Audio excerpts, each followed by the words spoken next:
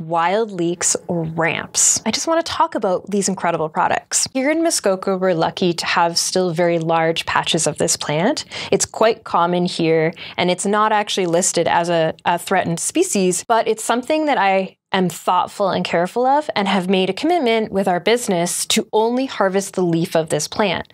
Wild leeks will have a underground bulb and then they will have two to three leaves that grow in the upper ground. We harvest with scissors and we just harvest one leaf per plant. We don't have to disturb any of the underground. We don't have to disturb any of the other native plants that are growing in the patches we're not disturbing the soil, and it actually also just makes for an easier harvest. And with just the leaf, we can get that incredible leek flavor and still be able to return to our patches annually, making this a truly sustainable product. If you're interested in getting our products, you can find it on wildmuskoka.com.